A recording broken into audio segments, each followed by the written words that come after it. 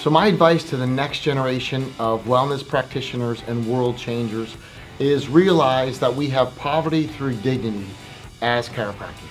We are sometimes broke emotionally, sometimes we are broke spiritually, and oftentimes financially because we are too proud to do what we know will make a difference. We are too proud to step up and find our voice.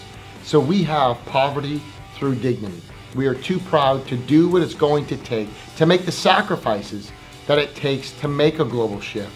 And therefore, we are left with this poverty mentality. Get into an abundant mindset. Get the CalJam. It changes everything. And when you're ready to do that, you will see that change happen in your life too. This video is sponsored by our friends over at Standard Process. $7 can get you a romance novel, a number one combo at In-N-Out Burger, a 12 pack of granola bars, a cup of green juice, or one month of access to the CalJam network.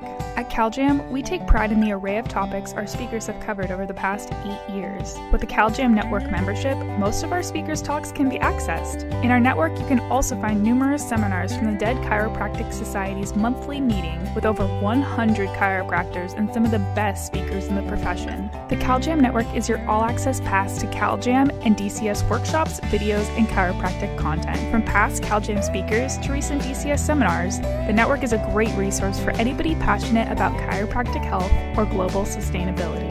So don't miss out! We upload new and exciting content monthly, which can stream on any device, even your smartphone. Join the CalJam network today for only 7 bucks a month at caljam.org forward slash network.